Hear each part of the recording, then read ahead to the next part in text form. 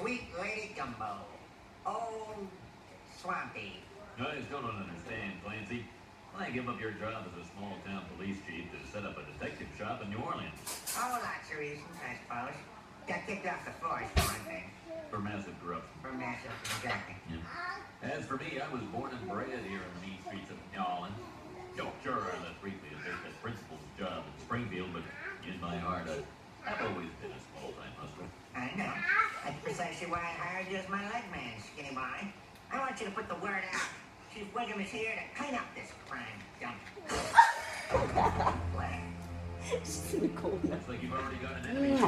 You know, folks around here don't much care for